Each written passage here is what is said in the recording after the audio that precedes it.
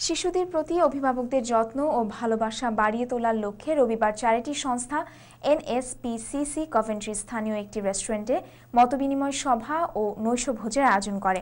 এতে বিপুল সংখ্যক স্থানীয় বাসিন্দা অংশ নেন। বিস্তারিত জানাচ্ছেন আমাদের প্রতিনিধি মোহাম্মদ ওয়াসিউদ্দিন তালুকদার রাহান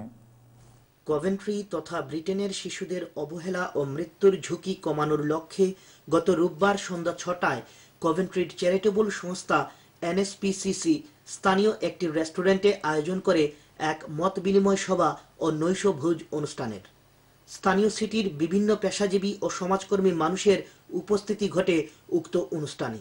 শিশুরা যাতে কোনোভাবেই অবহেলার শিকার না হয়, অভিভাবকদের হীন মনমানসিকতার কারণে যেন মৃত্যু না ঘটে কোনো শিশুর, সে ব্যাপারে সবাইকে আন্তরিকভাবে স্ব কমিউনিটিতে কাজ করার আহ্বান জানিয়ে উক্ত অনুষ্ঠানে বক্তব্য রাখেন এনএসপিসিসি ও কভেন্ট্রি ট্রান্সপোর্ট মিউজিয়ামের chairman Joe Elliot BBC radio presenter Bob Brolly বিশিষ্ট ব্যবসায়ী ও সমাজকর্মী নাজমুল মিয়া that the message gets out to the public of Coventry that the NSPCC, through their school's child line, is doing everything they can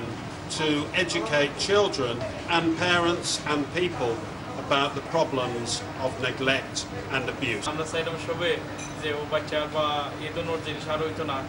যে cruelty হয়েছে বাচ্চার স্কুলের মধ্যে অনুষ্ঠানে গত বছরের মার্চ মাসে পোল্যান্ড প্রবাসী চার বছর বয়সের শিশু ডানিয়েল পলকা তার মা ও মায়ের বয়ফ্রেন্ডের অমানবিক নির্যাতনে মৃত্যুবরণ করার জন্য তার মা ও মায়ের বয়ফ্রেন্ডের প্রতি সংস্থার পক্ষ থেকে আরও একবার গভীর নিন্দা জানানো হয়